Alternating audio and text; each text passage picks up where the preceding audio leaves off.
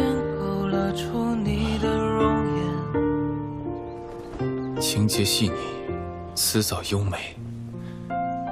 这本书的作者逍遥金公子，当真是才华横溢。我若有幸能够和他见上一面，好好畅聊一番，那真的是不枉此生了。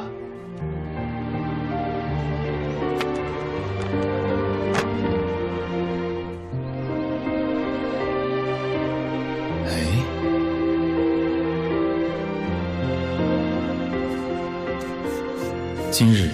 得知兄之近况，内心更是钦佩无比。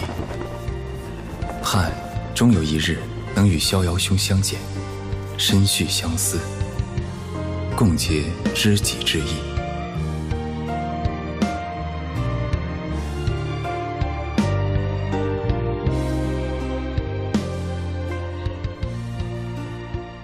林若，银。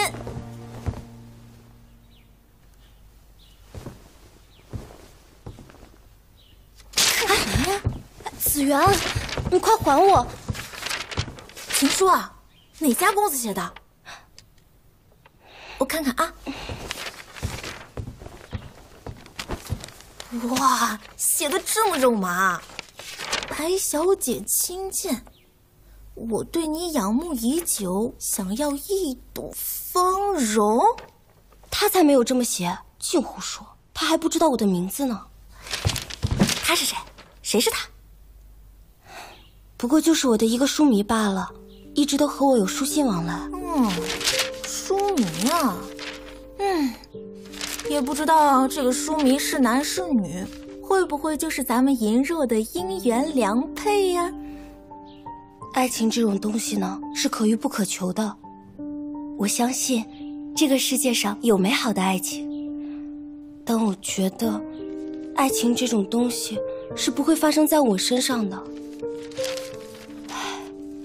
我只怪自己是一个无用之人，什么事情都还要你替我操心。